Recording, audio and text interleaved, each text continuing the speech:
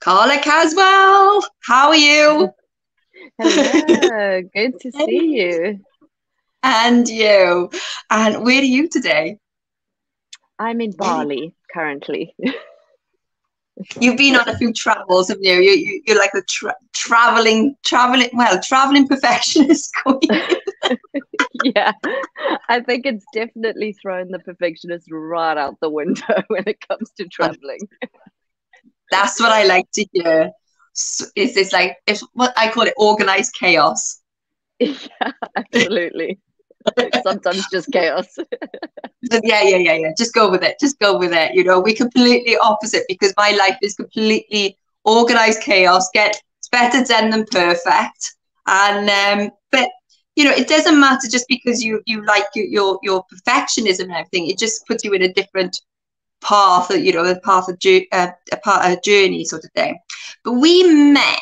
I think we met actually on Paul Rees. Now Paul Rees was on on Monday. He actually opened the uh, launch oh, with his. Um, I know with his amazing way of of actually putting getting things over to us, and and he's a a master magician with his words. I love it. I love it. Absolutely. Um, so he was our coach and then he started to some a mastermind and we were and then he invited us both on didn't we to be like the the the the professionals in his mastermind which was, I know. What a privilege! Absolutely. I really thought I'd yeah. made it then yeah me too I was like oh me I can't what a dream team yeah it was so much fun it was so much fun. Um, and then um, you've done a, you've done a bit of work for me last year, the year before, on my social media, and we just yeah. stayed in touch. And I followed your journey because you've got an amazing journey. Um, got something to actually inspire people with, which, and like I've said all week, is that I've asked people on here who have inspired me with the journey that they've actually taken, and I've learned so much from everybody. Um, so Carla Caswell, without further ado, where did this and you coach a bit on you coach a lot on perfectionism and you talk a lot on perfectionism but there, there's like a story to it. Everybody's got the story of why they they they are ending up where they are. So where did it all start for carla? Yeah um absolutely. I think um you know we often think perfectionism is like something that we just you know we're just very organized or we just like things in a certain way but actually it's a huge part of who we are as an individual. Um, you know i realize that i do things without even thinking about it. It's just second nature for me and actually to stop doing those things i have to be very conscious about you know changing yeah. those habits. Um, so yeah for me it started when i was uh, nine years old um, I, I'll be honest, I, I grew up in a very traditional British family, um, mm-hmm. um, even though I grew up in South Africa. And um, my family were very strict. And so I think I had a, probably an essence of perfectionism already because, you know, everything had to be in its place and all of that wow. kind of thing. Um, but it really kicked off for me um, when my mom died when I was nine. Um, so it was a very traumatic experience because it was actually my father who killed my mom um, in an argument that they they had. Um, you know, it, it they'd had a tumultuous relationship, um, but it sort of all kicked off one night, um, and it's it's a, such a a weird thing for me to talk about because a lot of people immediately would kind of, I guess, go to oh my god that that's a horrendous man like all of that. But actually i ended up still growing up with my dad um, yeah. because for whatever reasons um, he didn't end up in, in prison. Um, but he actually if you ever met him is the kindest softest soul. And and you know yeah. you just don't always understand what's going on um, in a relationship. Um, however what happened was on the on the night my my dad obviously after it happened he took himself straight to the police station to turn himself in mm-hmm. um, and left me in the house um, obviously just wow. not even thinking, just panicked and um, yeah. and so I actually ended up going downstairs and I saw my mom was, you know, kind of not alive. and yeah, um, yeah, yeah. Um, and I guess as a as a kid, I just panicked and I was like, oh, you know, I'm, I'm not supposed to be out of bed. I'm supposed to be asleep. I'm not supposed to know any of this is. You were going to get into trouble. You were going to get into yeah. trouble then, yeah, yeah, yeah, yeah. And that was just my my default thoughts. So I sort of ran back to bed, and and the evening sort of transpired in in terms of uh, family friends came over and took me um, to mm. their house. Um, the the one part that I I feel like is just the most ridiculous part of the whole story, more than actually the incident, was yeah. um, I was due to go and uh, compete in a swimming competition because I was a like professional swimmer back then already, yeah. and and I literally got sh- sent. I went off to my competition for the weekend um, and competed in in another in another county. Um, you know, as a nine year old. But, but nobody knew that you'd gone downstairs and seen your mum. No, no. So, so in their minds, their minds, they just thought it's best for Carla to carry on, go to her swimming competition. She knows nothing, and we can sort everything out while she's gone because you're only nine at the end of the day. So, yeah. Absolutely. I mean, I don't think anybody sort of maybe realized like that it was strange that I'd been uprooted in the middle of the night and I was now at somebody else's house. I don't think yeah. anyone had processed what I might be thinking about that. No. um, no. But yeah, so off I went, um, and and as as the child I was, um, I came back with medals and did my thing. Yeah. And, um, yeah. and yeah, and then my dad sat me down that that Sunday evening and and said that you know something had happened and um, you know, mom, mom, there'd been an accident. Um, and it, and I feel like that was the moment for me that was pivotal for the rest of like my next 30 years of my life. Because okay. in that moment, I chose to say nothing.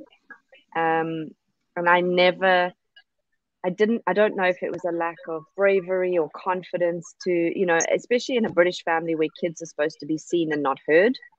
And yeah. so you're never taught to be open with your feelings and your emotions and and to speak yeah. up. And so in that moment i chose to not say anything. And i just acknowledged that this was going to be my path that i was just going to pretend like i didn't know anything.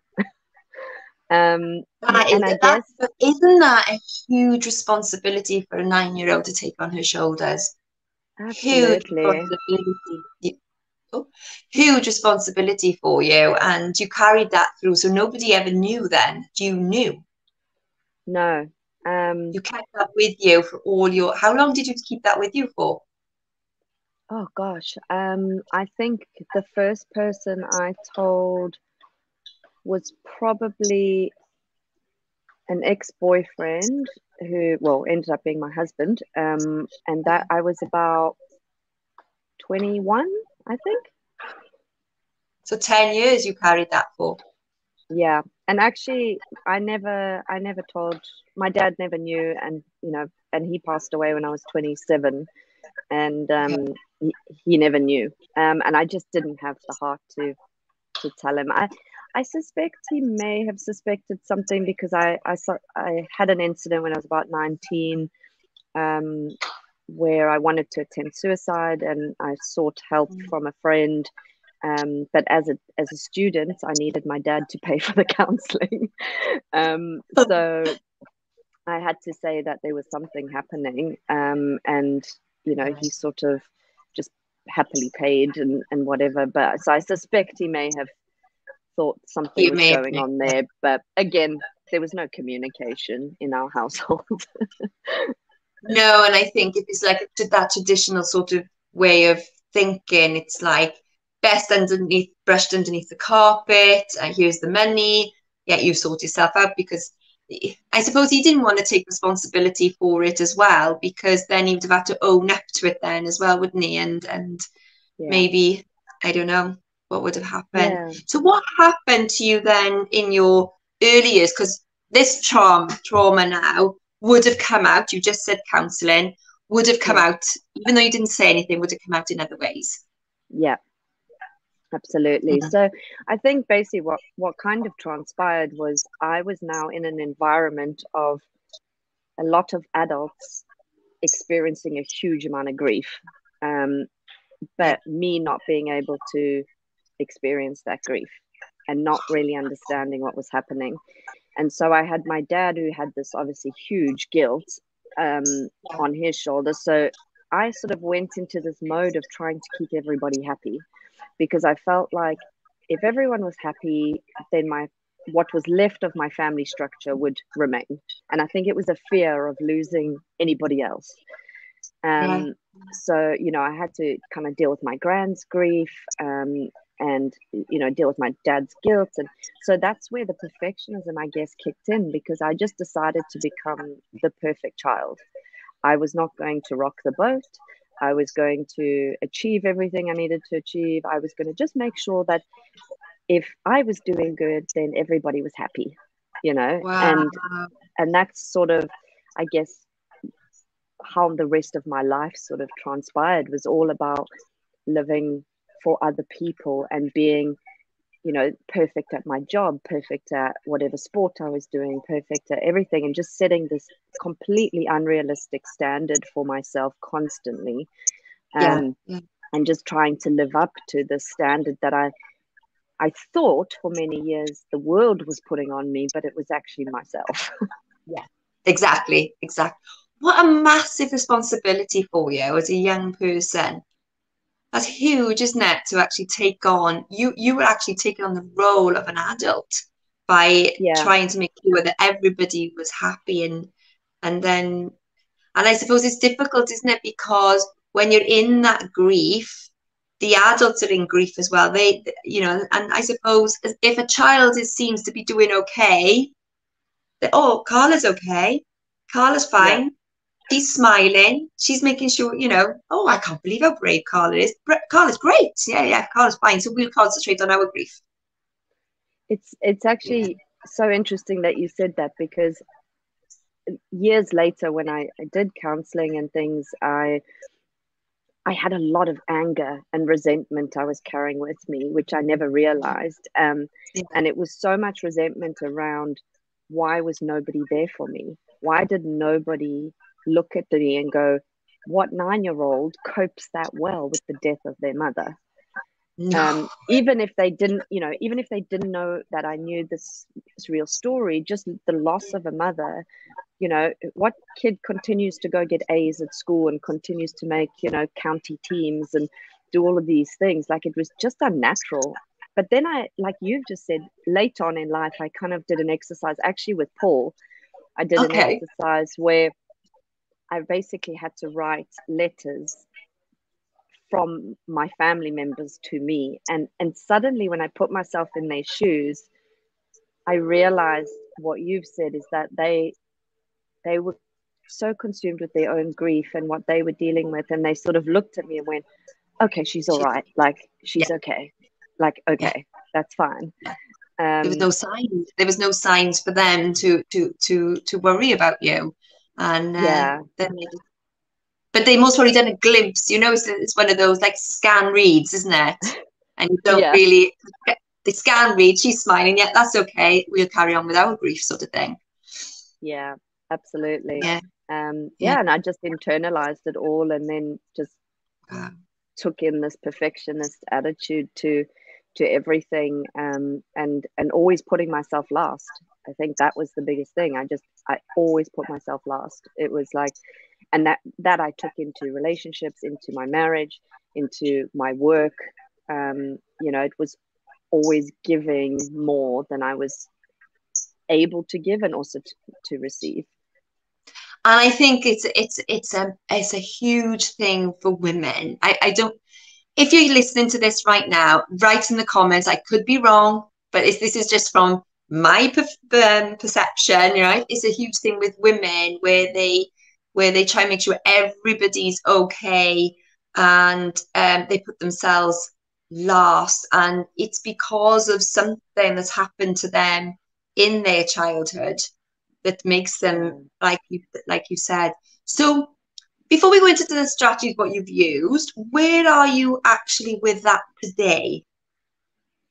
Yeah so i mean i think these sorts of things i think are a lifelong journey. Like you know once something's so ingrained in you you know you don't just wake up one day and you know do a couple of affirmations and you're fine. Um so it's uh, journey, nice. yeah yeah yeah yeah. yeah i'm trained exactly. And um i think for me it's very much about like you know when you go through things in life and i'm constantly i mean you can see like i never live in one place and so i'm constantly yeah. pushing my comfort zone and my boundaries and that is going to bring up stuff that i didn't know i had or i thought i'd maybe dealt with and hadn't really and and so my default is to always go into that sort of perfectionist mode and to also yeah. shut down like i think it was always my default to shut down my emotions and just switch off. Um, yeah. So for me, I think it's very much about the awareness has been a huge learning for me. Is just if you can have awareness around your your stuff, your baggage, um, yeah. then you can yeah. then you can address it when it comes up. Um, because there's, you know, I have times where something comes up and I think, oh, where did that come from? Yeah. you know, I thought I'd wow. that. I thought I'd solved that. It, it actually happened to me uh, this week, uh, uh, actually, where um, I'd sort of said yes to something that in my head I was like, you shouldn't be saying yes to this. You shouldn't be saying yes to this. You should be saying no. Claire saying no. And guess what? It went wrong. And I was like, shouldn't have said yes to that. Lessons learned. Why haven't I why haven't I listened to my own advice? You know? but oh you, you're a yeah, yeah. It's like a recovering yes person. I heard the other day. yeah, yeah, that's what. Yeah, absolutely. I say I'm a recovering perfectionist because um, it's it's every day and one day at a time. And you know, I think yeah. it's very much just about learning to be aware, but also learning to be a little bit kinder to myself, which I think is really hard because you know, a lot of what perfectionism is is is being really hard on yourself. Um, it's it's never, you know, you can set all the goals in the world and achieve all every single one of them, but it's never enough. So it's always the next thing or the next thing, and um, there's. so, know, so then, if I, if I, go back then to the, those goals you said, and there's never enough, it's so you're never satisfied. So you mm. would hmm. never be satisfied. Okay, achieve that. Yeah, click, click. I'm not going to take time to pat myself on the back or love yeah. myself for what I did. Next thing, let's go. Absolutely. Is it like that? Hundred percent. And and what you said there has been really key for me as well is is starting to acknowledge those moments where I'm like, actually, you know what, I did do a good job there. Well done, me. You know, like um and and that's so important because otherwise it's just like yeah next thing next thing next thing and then you never feel like you're achieving anything or you never feel like you're making any progress because you you've already forgotten about the amazing thing you did yesterday um, yeah. and you're already on to the next thing because that's you know oh i need to and i think you know as well perfectionism tends to be heightened in ambitious people um, mm-hmm. because you know, there's not a lot of people sitting on the couch drinking six pack of beer, watching Netflix who really worry about perfectionist, you know, tendencies. well, um, it just depends. It, could be a certain type of beer, and it could be a certain type of program. You know, you never know. Write in the comments. yeah, I mean, please enlighten yeah, write in the comments if you're a perfectionist Netflix watcher or be a drinker. yeah, I mean, who knows? I know they have to watch Netflix in a certain order. I don't know. you you just don't know, do you? Yeah, yeah, yeah. Yeah. It's so interesting. Yeah. But yeah, generally I find it's like, you know, if you're ambitious and driven and then you you create you want to do more and you want to achieve more, but then you put these really unrealistic expectations and you don't like we say you don't set sort of milestones along the way and you don't celebrate those milestones as well. Yeah. Do you think that has come from as well the people that were around you growing up?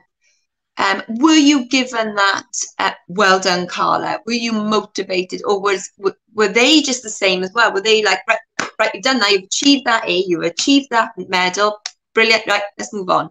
Or did they really give you the encouragement that you deserved? Yeah, so that's a great question because um, I think that was another huge part for me was the only time I ever saw kind of reward or encouragement was overhearing my family talking to somebody else about me. So, you know, they would be oh, somebody else would say, Oh, Carla did really well, you know, at that competition. And they'd be like, Oh, I know, she was great. She really stepped up that day. But it was never said directly to me. Um, yeah. and so and that's so important. So if anybody's listening up there and they've got a high achiever child, that child needs to know that they are doing well, isn't it? Yeah.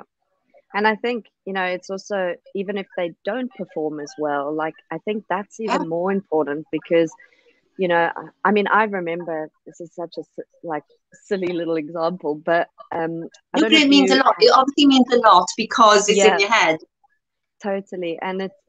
I don't know if you had this, but it, in primary school, you used to have to take your tests home and get them signed by your parents. Um, no, so we, used to have, Okay, mm. so yeah, we used to have to like we'd do a test in class and you'd get your mark and then you had to take it home and your parents had to sign to say that they'd seen your result. Um, yeah. So both my parents used to be teachers. So um, yeah, one was in maths and geography, and those were my two worst subjects. So that wasn't helpful. oh no. but yeah, I remember getting a B once, and this was actually before my mom passed away. But and I actually was so terrified to take it home that I forged her signature at like the age of seven or something ridiculous. Oh, um, no. And and I think you know that's the kind of thing where if you're setting such unrealistic expectations and and I also actually want to add there that something I've sort of figured out is I I do think there's a lot of generational stuff that yeah. that's come into it. Um, you know, if I look at my mom and then her mom, um, there was definitely always this sort of high level of expectation to perform and to do well. And so I think it really sort of, when I had that trauma, like that was my default mode because that was what I'd seen. You know, that was yeah. how how the woman in my life um, behaved. Yeah, yeah, you and it's interesting you say that because when we go back to exams and everything, is that um, it was just good enough for me to to get fifty percent.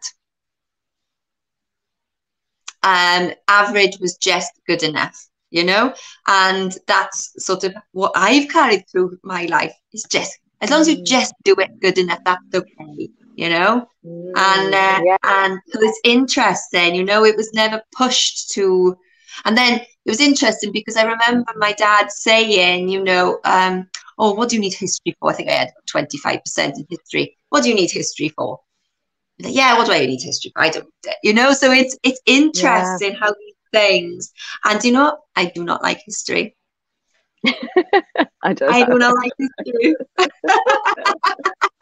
and it's interesting how these things carry us through, isn't it? To to who we are, who we are today. But these things yeah. are important as well. And and somebody was saying to me, um, oh, it was actually um, Sophia was saying to me yesterday that um,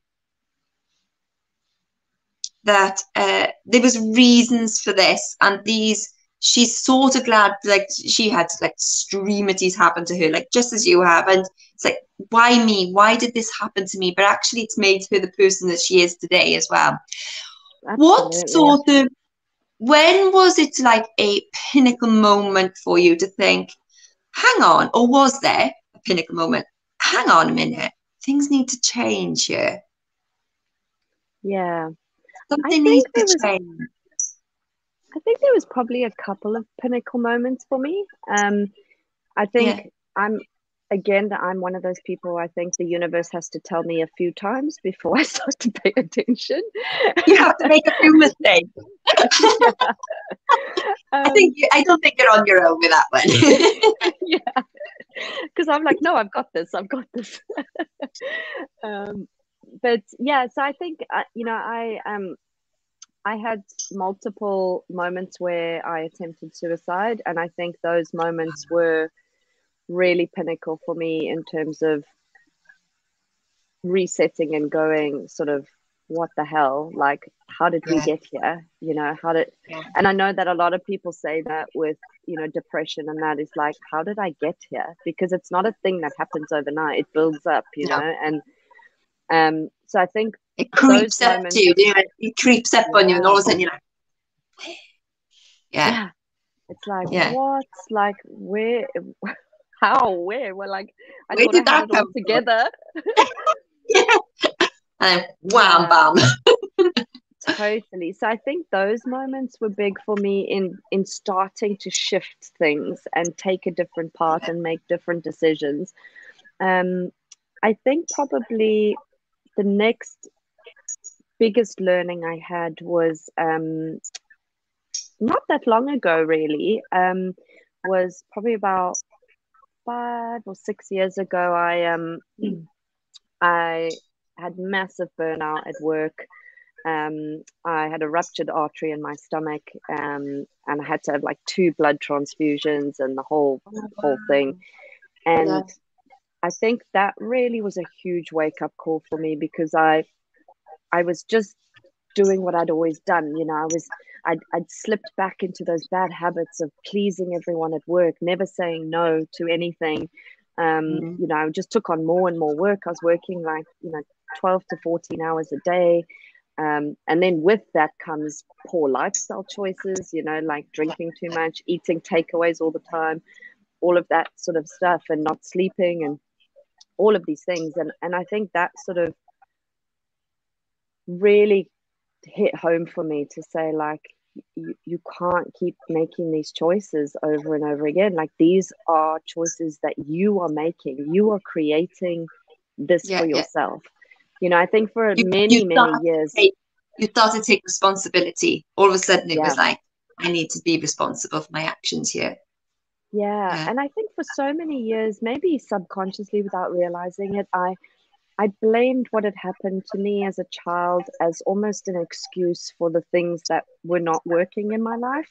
And I was yeah. like, oh, well, you know, like I didn't have a great start, or I didn't have a great role model, or I didn't have a this um, yeah. you know oh i'm still carrying that pain so i think subconsciously because i wouldn't say it was conscious because i was like no you know i'm i've dealt with this i'm on top of it i'm i'm okay but i think subconsciously that programming was still saying oh this is why things don't work for you because of that or this is why things are not going well because of that um, and i think it was only in that moment where i was like you know what every single one of these things that has led to this hospital visit was my choice yeah. And you took I responsibility. Chose, yeah. I chose to not have boundaries at work. I chose to make poor health decisions. And and there was nobody I could blame but myself. You know, obviously mm. I, I tried to blame, you know, I mean the company I worked for were not ideal. but yeah. um, you know, at the end of the day it was me. And I think that really sort of that realization when you go, oh my God, like I cannot blame anything or any situation for what's going on except the choices that I'm making every day. It's quite interesting you say that because the same thing, the, the sun, I'm trying to move around the sun. I was a bit like. um, it, the same, exactly the same thing happened to me. And I remember going to therapy and I didn't quite understand this at the time, where the therapist said to me, um, you haven't dealt with you haven't dealt with your issues and i'm looking i have i thought i had dealt with my issues i'm like i, I didn't for years understand this was it was in my brain you haven't dealt you haven't dealt. okay but i'm sure i have because I, they're not coming up anymore those issues are not yeah. coming up anymore but it was when um, I reached out to um, Deb Morgan, and Deb Morgan would be speaking here as well um, as a relationship um, coach, where my marriage, my third biggest relationship. So I, have had like uh, three relationship, big relationships, and this my third one was on the seventh year. I know they say seven year itch and all that, but on the seventh year, I was feeling the same as my other two relationships. Mm. And I was like, there is one common denominator here. Not that I'm blaming myself for all this, but it was this happens, this happened twice before. Hang on a minute now. Yeah. I need to fix this. And that's where my moment was like, I'm making the same mistake again. Yeah.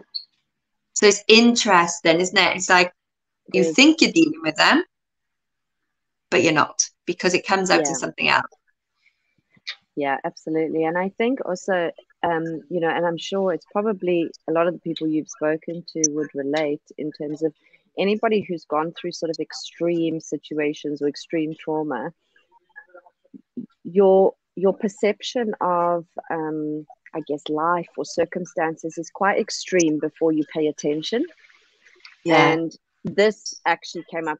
A, a coach helped me see that they were like when things are sort of because we operate at such an extreme level, like small mundane things just don't even bother us. We're just like, yeah. it's fine, I got this. It's like things that might derail someone else are just not a big deal yeah. for me.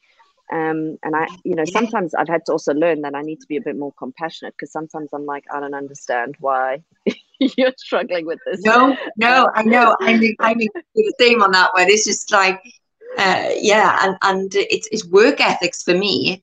It's like I can, can I still not really can't fathom out why somebody hasn't people haven't got work work ethics. How somebody can go to work and drag their feet all day and then go home. I'm like, what a waste of time you know, you you know, it's just it's just like, like you know, it, you go to work to work.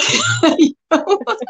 you fun along the way, obviously. You, you, you, but but it's just like I, I can't fathom that out for the life of me why somebody would go to work and not work. yeah, absolutely. Yeah, hundred percent. And I think that's why often like it takes sort of extreme moments for yeah. people like us to actually sit back and go, ah, okay, I see what you're trying to teach me here. yeah.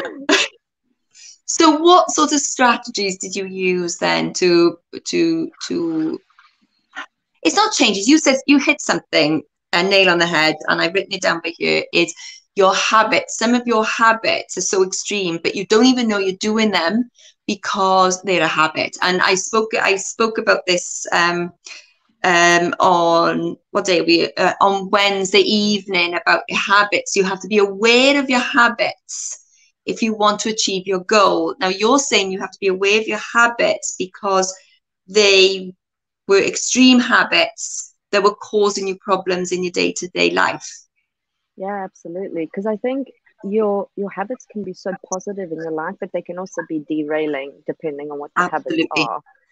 Yeah. Um, and so yeah, hundred percent. The awareness for me is huge. It's it's just catching myself and and reworking things that I'm doing. So I have a tendency as well to um, take on too much.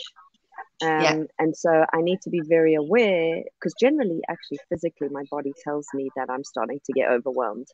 And yeah. so I need to be aware of those sort of things and be able to say, like, look, no, we're not in a good we're heading down a bad road here. Let's let's take a you know a moment to revisit what's what's important and what's not. Um, yeah, yeah, i think it's also you know for me healthy daily habits as well like um, mm. my my exercise and my nutrition and that's really important because when that's not in a good place my mental health is not in a good place. And then i'm not making solid decisions you know in yeah. my life um, yeah, so yeah. that's a huge one for me um, because I feel like it's such a circle. It's like, you know, when your mental health's not great, you don't want to exercise, you don't want to eat well, but if you're not eating well, it, your mental health it, it, it, it, it, just it's it's a it's a very important one, isn't it? And it's it's a it's a difficult one to combat because when you're feeling low, you want to eat all the sugary foods, the chocolates and the biscuits yeah. and the you know, and it's it's just somebody um somebody came over here the other day to me, you know, and not in a good place. And I was like, get a cup of tea and get the biscuits out, you know. Imagine if I give imagine if I gave them sort of like an apple and a glass of water. Wouldn't have worked. No, I wouldn't have worked, would it? But but it is, you yeah. know, I know, I know we're laughing at it, but it is, and you, okay, that is fine for that moment, and it will pick me up. But then you can go go down that slippery slope, and that, and that definitely yeah. that same thing happened to me as well. You know, I went from from super fit to couch potato, and um, you know, and and it, I was low, and it, it, just doing the day to day things that I had to do were hard enough, and then yeah. trying to exercise and trying to eat healthily and go, planning my meals and all that type of thing. That was just that was just a no go, absolute no go yeah. one point.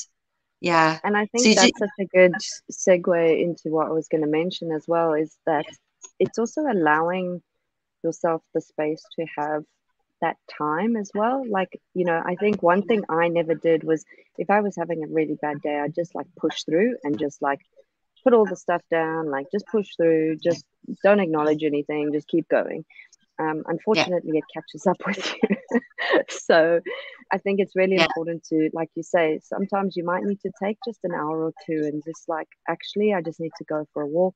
I can't do my normal gym session today. It might just be me doing a stretch session or going for a walk. Or for me, it's just a form of movement that, but it yeah. doesn't always have to be the pressure to get it all right on the day, you know.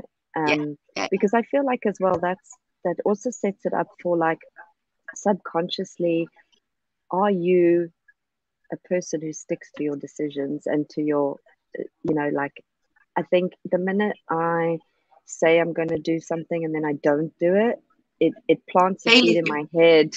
Yeah, failure. I'm not reliable. Yeah. Oh, she'll yeah. just give up. She won't carry on, you know. Um, and it's so it's so powerful to just give yourself that space as well. Um, it's something that is really hard as a perfectionist to um, wow.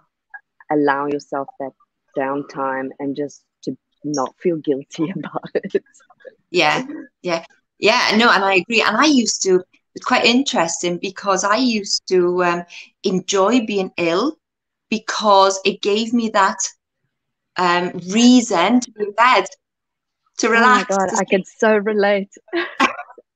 It's like oh i've got a bad cold. Oh i need to go to bed you know and it's like whoa let's go to bed yeah. It's like no one can disturb me. I used to say no, the, best the best time of my day is like the eight hours I'm sleeping because nobody can annoy me nobody can talk yeah, to me. Yeah. yeah, you had to have that reason. I had to have that reason to actually um, take that time out. There had to be a reason, but it doesn't have to be a reason. It, it it's yeah. it's like um, we need to recharge the batteries. We and I, I said this actually to um, my stepson Joe. He's going to be talking on here as well. Is that you know he's just had a huge move in his life, a huge change, and lots of things that he has to deal with all at once. And I said to him, "It's okay to have a day off. Mm. It's okay to bring up your mates and go fishing for the day." And he was like, yeah. it was like a big relief for him. He's like, he's like, oh, I can do that. I'm allowed. I'm like, course i said because yeah. like you said you push through things you push through then you're not you're not working or you're not functioning where you no. where you want to be functioning you're just functioning yeah. just uh, in swedish they say lagom just right you know and it's just it's not that neither right nor wrong it's lagom just there and um yeah. it's your 50% become, test score it's just exactly that it's exactly that and it's just there and then you recharge the batteries and you go back to whatever you were doing. You go, whoa, and you do it twice. You do it better. You do whatever yeah. you want. You want to be do better as well. Yeah. Absolutely. Yeah, hundred percent. It's amazing. And then, so is there anything that you would like? It's a hard question. This is because I'm putting pressure on you to say to anybody about to, to inspire them about the, with the journey that you've been on. Is there anything that I've missed that you'd like to say? no, I Put think, um, yeah. Um, do you know, I think something you said um, that you'd mentioned, you were speaking to um, someone yesterday, and I think it's it's the biggest thing that I've learned is is not having a regret for anything that you've been through, rather seeing it as part of the journey and who who you are.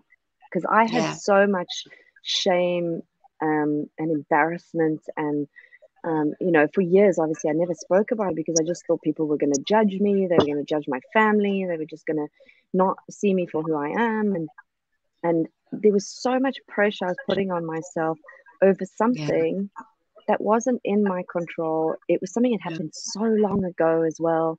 And. I think no matter whether, you know, I know we've been speaking a lot about perfectionism, but I think just in general in life, like we carry these things as if they are like, you know, a, a negative battle wound, but actually it's something we should be so proud of because we're still standing here today and we're still fighting and we're still trying to live our lives and we we're yeah. still doing another day and we're still being human you know and i think you know if you get up every day and you share your story and you just embrace life with all its rainbows and but also what you know shit i can't think of another word.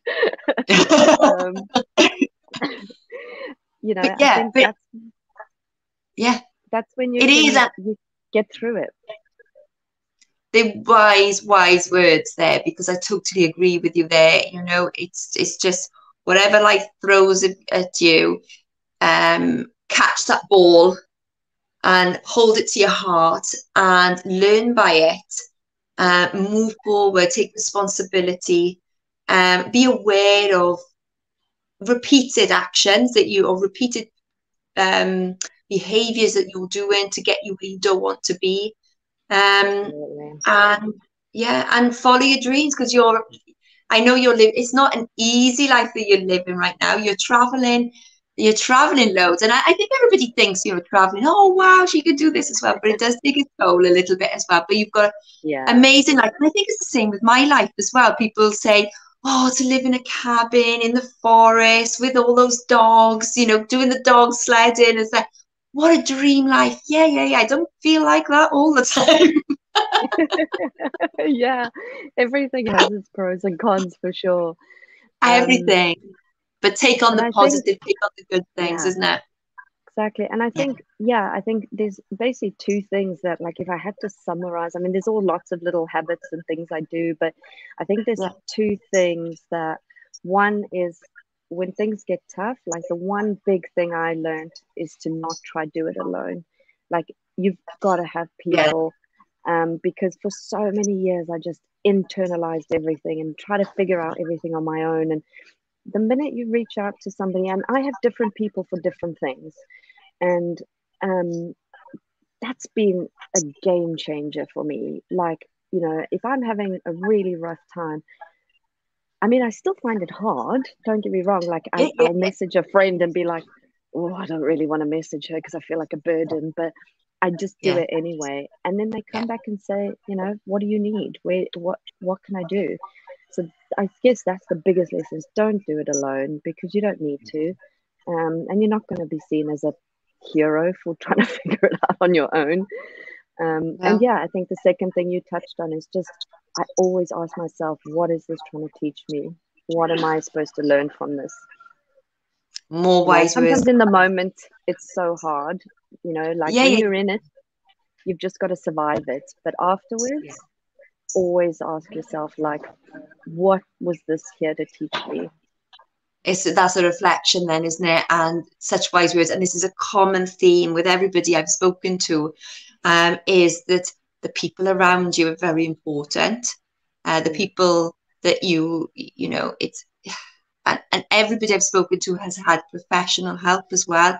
And that I find is a massive, is it, for me, that's a massive help because you can really spew out whatever words you want to say. You can swear, you can say things that come straight to your head and there's no judgment. And then, you know, and they're not going to be like, friends who were not equipped for it were like, oh well, let's have a cup of tea, let's move forward. You know, let's go. That's what happened to me. Is like when I got you go to a friend with a, with a problem and they can't deal with it. Oh, here's a bottle of chocolate, and I'm like, this does not work.